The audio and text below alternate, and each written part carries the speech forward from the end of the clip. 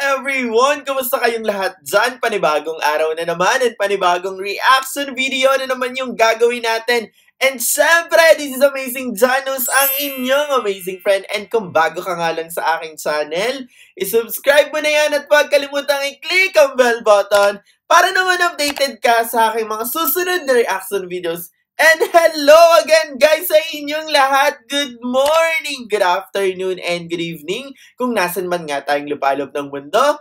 Thank you for watching and mag-ingat tayong lahat, okay? So, ayun na nga, another reaction video naman for today. And sobrang nakaka-excite na naman. Grabe, after one week, eto na, mag-upload na naman tayo for SB19 at pag-react na naman tayo for The Boys. Sobrang thank you pa rin sa inyong continuous na pag-support kay Amazing Janus. And sorry kung hindi tayo masyado nakaka-upload. But anyway, andito na tayo. Okay, so for today's reaction video, pero bago ko simulan ng lahat, kung hindi niyo pa nga pala napapanood ang pinaka-last reaction video ko for SB19, which is yung behind the scenes ng kanilang uh, uh, What, ayan, yung kanilang panibagong uh, release na music video na sobrang grabe lang talaga. Sobrang trending. Nandyan yan sa may description. I-check nyo na yan. I-like and i-share at mag-comment kayo para sa mga susunod pa natin mga reaction videos. Okay, so for today's reaction video, sobrang na-excite akong gawin to. Ito yung What the Making Film Episode 1. Okay, so sobrang nakaka-excite to. And tignan natin kung ano ba talaga ang lahat ng mga naging effort ng boys para sa paggawa ng music video na ito. Okay, so panoorin na natin to. Let's go! Ayan, so BT Philippines Corp. Ayan, sige. Safety protocols were implemented. Ayan, during. Okay. Ano ba yun? Kinikilabutan ka agad. Naririnig ko pa lang. I like the effect. Napaka-classic, no? What? Diba? Di na bala para iangat ang bandera para sa puso nyo na ang tatapos. Dito, sa kantang to, it's about parang raising your flag and being proud of yourself and loving yourself. So, kumbaga, pag hindi mo kasi minahal yung gawa mo, hindi mo minahal yung sarili mo, hindi lalabas yung tunay na potential or yung natatagong galing mo. Tuturuan ka ng kantang to. Pag napakinggan mo, tuturuan ka kung paano maging, yun nga, sinasabi ko kanina, paano maging proud sa sarili mo. Kahit ano pang status mo sa buhay, gano'n man kaliit o kalaki. Nung napakinggan ko siya, nung nabasa ko yung lyrics, parang nagkaroon ako ng ah, mat- mataas na pag-asa na maabot ko palalo yung mga gusto kong maabot sa buhay. Itong kanta na to, parang, ito na siguro yung mag-represent ko sino kami talaga. Kung- Dito na namin papakilala ko sino kami. Oy! Kumbaga, yung, yung, parang kung ano yung meaning ng kanta, yung sarili naming flag. Kasi yung kanta, di ba, about siya sa, parang kung sino ka man, maging proud ka sa sarili mo, may, may sarili kang bandera. And this time, ito yung kanta na magpapakita nun, yung individuality namin and, and yung pagiging grupo namin. Oy, sandali lang ha. I-post ko lang doon sa ano na yun ha, sa part na yun. Grabe lang no. Alam lang talaga ni lahat bawat isa kung ano yung ginagawa nila. And very important talaga no, as a person, kung alam mo kung ano yung ginagawa mo. Like, ito, diba, bawat isa may sinasabi. From say, Junken, Stel, Justin, and Josh. Diba? Totoo yun, 'di ba? Magiging proud talaga tayo sa person sa Filipino kapag narinig talaga natin tong kantang to. And very important talaga sa isang kanta na may maipapahiwatig tayo sa lahat ng mga manunood at makikinig talaga. Kailangan talaga yun, no? Sobrang, sobrang ang galing lang kasi naiisip nila itong mga ganitong bagay talaga, di ba? And very matured para maisip nila itong mga ganito. Sobrang ang brainy lang talaga, 'di ba? Sobra lang. Eh, sobrang na-amaze ako sa bawat sinasabi nila, ibang klase. Tuloy natin. Sobrang dedicated sila sa ginagawa nila. Steve. Lalagyan ko na. Malaki mo na. Alam mo, naisip ko dyan, ko. Yan ba yung bago? yung sa part niya, Kailangan yung imagination mo dito, malaki, malawak. Alam mo yung, yung sa teaser ng Blackpink, yung gumaganong Ah, gano'n ayun yan. Tapos may mga nakalutang na papel sa paligid mo. Ikaw lang yung gumagalaw ng mabilis, yung papel nakastop. Ah, okay. Ah, Parang, zzz, parang tapos Ay, ano, oo, yun yung kay Seijo, no? Yung mapa, pinaka first part. Yung- Tapos kung pwede ano yun, pwede yun. Yung yun. parang Iniisip mo ba yung parang gagalaw yung camera na gagalaw? Robot yun eh. Robot yun. Nakaprogram ni mismo yung ano yun eh. Nag-practice na siya. Grabe na. Dapat dun, steady yung kamay naman mo eh, no? nun. Ang ganda nung tunog. Ito sobrang ako lang ka. Super as in. Parang hindi sinaramdaman ako. Nakababa yung Kaya bigatan mo na ba yung... Masama naman ang pinagawa. Grabe, ito yung maganda no, as a group. Habang gumagawa kayo ng film, andun din yung bonding, diba? Hindi pa kahard ko tayo. Tapos, yun nga, yung sinabi mo, sabi, sabi ko, huwag gawin pop yung distortion, gawin niya tali. Gawin niya tali. Para mabigat na lang tayo. Kaya din yung may mga scratches. Kasi gusto ko, ayokong um, all throughout the song, parang mabigat yung, ano, gusto ko sa ending, may maging happy yung feeling. Okay. Kaya- ah, Ay, kaya okay, pala. Tapos Okay. dun sa last chorus nito, parang di na ba lang, ala salamat yan, Lord, banat, iwagay mo, tapos parang mag i sketch tapos bigla magpapalit ng, ng vibe na parang happy na hip-hop-ish na, parang mabounce na na. Old school. Mo, Maging old school ba na? Pero, pero basta yung, yung una natin, yung mauna natin. Eh, namiss hindi- kita. Harap muna. Guys, ayun yung idea. Yun, yun, yun nga, na, na, alam mo na naman yun, yung, pag, yung pag-receive. Talaga gusto natin yung parang kikilabutan talaga sila, di ba? So, Yes, sobra! yung parang nakakilala. Kilabo talaga yung videos in. ito, parang, I was... Sandali nga lang ha, bago ko ituloy yung sinasabi ni Sedzo na as a group talaga, no, very important na you need to listen to each other talaga dapat. Especially kapag may ginagawa kayo or may plans kayo or may mga kailangan kayong pag-usapan. And nakikita ko na as a group, bawat isa, nagsasalita yung isa, nakikinig lahat. Diba? Very important yon as a group. And si Seju, nakikita ko siya as a leader talaga sa grupo nila na napakalupit Sejun kasi nakikita ko kung paano niya ibigay yung mga ideas niya sa boy at sa boys at i-share lahat ng mga gusto niyang mangyari, 'di ba? And kailangan niya sa isang group eh yung good listener ka, hindi kayo magsasapawan, 'di ba? Kailangan pakinggan niyo yung isa't isa. And yun yung nakikita ko sa kanila. Kaya kaya ang ganda talaga ng kinalabasan kasi naging ano sila eh, naging isa sila, group as one, 'di ba? So ituloy natin. So, parang, I was thinking more of people in general. Siguro, I was also um, talking about SB19 as a group, kung ano yung music namin or kung ano kami. Kasi, in the previous Very hard Sejun yung um, mga ganito. As yung mga nag-compose is Korean nung kanta. So, ang ang contribute lang namin is yung lyrics. So, and minor changes sa mga melodies. This time, um, mas nag-contribute or solely SB19 yung nag-contribute sa paggawa ng kanta. And I think, and I believe na um, kumbaga naipasa namin o nailagay namin yung song namin dito as a person, not just a Filipino. yes! Grabe lang! Grabe yung effort ng bawat isa. Grabe yung effort dito ni Sejun. Sobrang nakikita ko talaga in. Ayan, Harat-harat muna tayo. Yung music video na yun, kasi siguro talaga. Ang gagwapo ng mga to, Diyos ko, Lord! Ken! Ba't nakasama si Ken? So, andito po kami ngayon sa... Andito po ngayon sa bahay ni Place ni Sejun for demo recording. Wow. Number 2, demo, second demo. Ang sarap lang, no? Pag magkakasama kayong lahat. Andun yung bonding, masaya kayo. Ayun yung isa. Busy mag-cellphone. Nagsa-cellphone. Josh! Sino ka na? Parang imbierno sa... Nung bininyohan siya.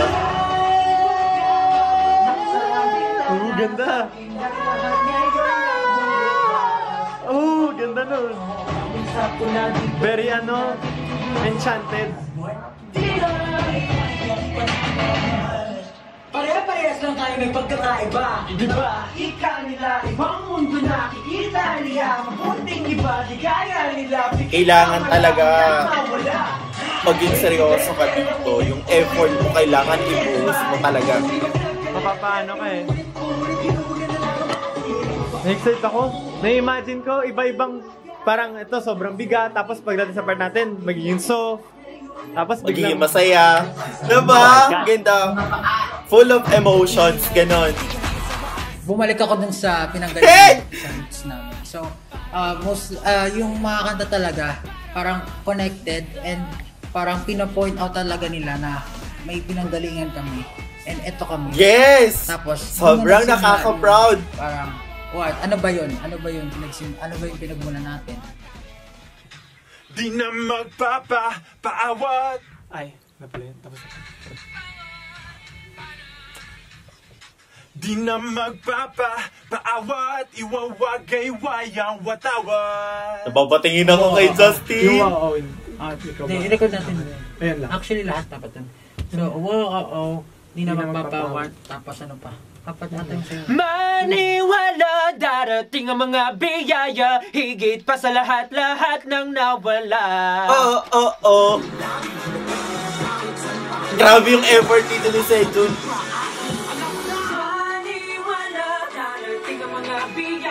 Ang ganda ng kinakalabasan. Wala. Isa pa. Darating ang mga biyaya Higit pa sa lahat-lahat ng nawala Hey! Yay! Yay! Every time na nagre-record naman kami, like kong ine-enjoy yung moment na nasa loob ako ng recording studio na pag ako na yung nasa harap ng mic, sobrang ine-enjoy ko lang yung moment Kailangan. na yun, na nandun ako. Pero this time kasi siguro nagdagdag lang ako ng konting ah, ibang attitude ni Stel, parang ganun. Kasi yung kanta namin, parang palaban eh. Kumpara dun sa mga kanta namin ni. Stel. Go Up, Alab. So parang sa recording namin, sa mga recording practices namin, talagang nilalagyan ko ng konting angas yung iniisip ko ano. Depende rin kasi ako, sa character mo Para eh, lumabas diba? yung character Mm, yes. ko kahit hindi pa sa MV, kahit sa boses ko pa lang, parang ma-portray ko na yung character na gusto kong ilabas para sa kanta na to. Yun. Sandali lang ha, bago ko ituloy ha. Grabe to. Hindi pa natatapos yung video pero sobrang nagiging proud ako kay Sejun dito as a leader. Nakikita ko kung gaano siya ka-dedicated at kung paano niya turuan yung bawat isa talaga, ba? As a leader kasi very important yung ganyan ha. Ang hirap ng posisyon ng leader kasi parang sa'yo lahat nakasalalay eh, ba? Parang kapag hindi hindi okay yung naging decisions mo, baka mamaya ayun yung maging reason para hindi maganda yung kalabasan ng ginagawa niyo, 'di ba? So kailangan talaga ibigay mo yung buong effort mo dito, maging seryoso ka. Kapag may nakita kang mali, itama mo. And eh, nakikita ko kay Sejun, grabe. And sa boys, like si Stel, si Justin, kung makinig sila kay Sejun, ibang klase, napaka ano lang, napakagandang attitude and very important na nakikinig talaga tayo at nagiging open sa bawat sinasabi sa atin para at least sobrang maging maganda yung kalabasan. Grabe lang! Iba kayo, tuloy natin. Honestly, ako talaga. Si Josh. Nag, ano ako, kumbaga, tinrain, med, hindi ko masabi tinrain, masabi tinrain talaga, pero totally hindi Yung kay. Josh, Kapos din kay sa Josh, iyon yung pinakamahirap eh. ng Feeling ko lang ah, For myself din talaga, to improve iba yung naging boses niya dun eh. yung mga naglalak ako na bagay. So, ayun. Ayun yung Gwapo sa no? Ni Josh, di ko pa na makalimutan. Oo, ganun, mag-isa, kahit nasa bahay na ako. Oh, At the same time. grabe attitude dun Tsaka dapat. parang sinapuso ko rin talaga itong kanta. Yes, kailangan yun. Ako, um, very nervous ako. Hindi ko alam bakit, pero kahit na ako yung sumulat ng kanta, kahit ako yung nag-compose, parang feeling ko bago, Oo, bago pa rin kasi- sa kanta. Siguro dahil um, gustong gusto kong maganda yung kalabasan. Parang kaya, abot kamay mo si Sejun, no? sobrang ako. Pero at the same time, sobrang excited ako at um, masayang masaya kasi ah, sa wakas makakapaglabas kami ng kanta na kami magpa-first, kami yung gagawa, um, kami yung kami yung sumulat or kami yung gumawa ganun, na talagang SB19. Siguro, kasi ako, lagi ko rin to sinasabi sa members na ano, I want them to be proud of themselves. I want them Yes. to, you know, uh, step up, you know, to be proud of what they do. Kasi if hindi mo mahal yung ginagawa mo or hindi mo mahal yung sarili mo, hindi magpo-project yung the best you. Totoo! So, as possible. At palagi kong pinapaalala na ah, sa mga kagrupo na maging proud kayo. Gawin niyo lahat ng mga kaya. Always give your even best parang- talaga dapat. Ah, ir- ironic kasi ako, mahilig ako eh. Mahilig kong idaw yung sarili ko. Parang laki ako, um. Ah, Saan tong may- studio lagi na to, guys? Comment nyo Parang ganun. Parang feeling ko, um, parang hindi, hindi pa enough yung ginagawa ko. Pero ayun, parang gusto ko sana sa ibang tao ma-push sila na parang maging proud sila para naman uh, malabas nila yung potential nila. Raise your own flag. Yes! Uh, be, be proud and love yourself. Ano ba yan? Ibang klase to. Ayan, di pa pala tapos. Sandali lang. Yung rehearsal, ah, sobrang sobrang iba. Next episode pala Mas naintindihan namin yung other side. ng- Ah, ito na yung sa sayaw. Iba. Sa Saka mas nag-feel ko na nag, ah, ano kami, nag-grow kami as a performer. Sobrang nakaka-excite yung episode to ah. Grabe lang. Sobrang nakaka-excite. Ako, ang sasabihin ko lang, yung effort na ibinigay nyo dito, alam ko sobrang dami yung binigay na effort and hindi biro yung effort na ibinigay nila dito. Kasi kung simpleng effort lang naman yung ibibigay mo dito, hindi magiging ganun yung kalalabasan ng music video na yon na nag-earn ng million views. Sa totoo lang.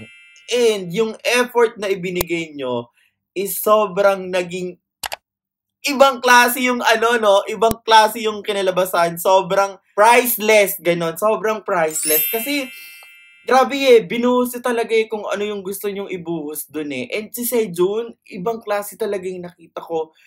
Ibang Sejun yung nakita ko dito. Sobrang nagiging proud ako sa kanya, sa totoo lang. And every words na sinasabi niya sa person, parang tatatak talaga sa utak mo eh. You need to love yourself.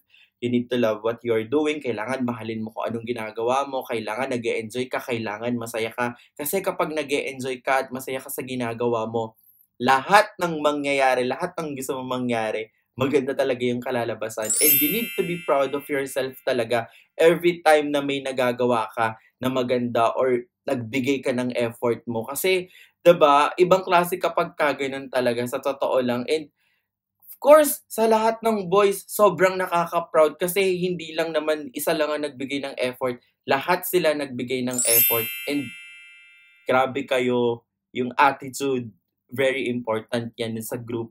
And yung attitude nyo, ibang klase talaga. Kaya sobrang deserve na deserve nyo kung anong natatanggap nyo ngayon. Deserve yung million views. And of course, no, behind sa lahat ng nangyari, sa lahat ng nasa likod ng music video na to, congratulations sa inyo kasi ang ganda talaga ng kanalabasan and sobrang nakaka-proud sa Filipino na may mga Pinoy pop group na nakakagawa ng mga ganitong music video at nakakapag-compose ng sarili nilang kanta, ba? So ayun na nga, maraming maraming salamat for today and I'm so excited dun sa episode 2 na ito kasi yun na yung pagpa-practice nila ng mga sayaw. Grabe lang.